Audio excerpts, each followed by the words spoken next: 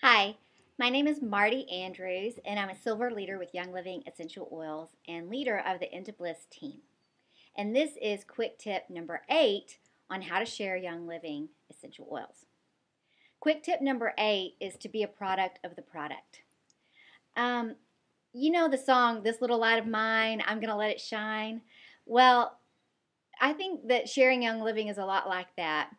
I never go anywhere without, um, uh, I have a little oil bag in my purse that has about six or eight little bottles of oil, and I have Thieves hand sanitizer in my purse. I have Thieves spray in my purse.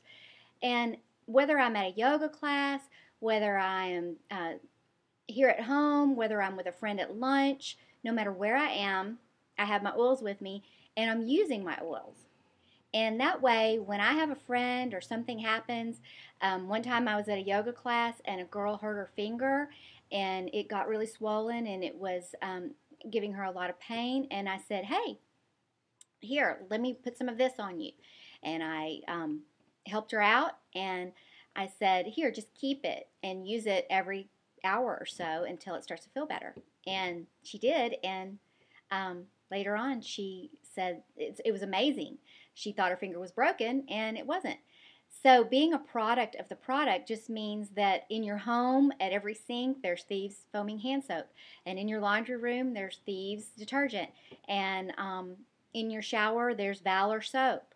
And different things like that. So that people know your integrity will speak for itself. You don't have to go around being a walking billboard and talking about it all the time because your life shows your love for the product and your life shows how they work for you.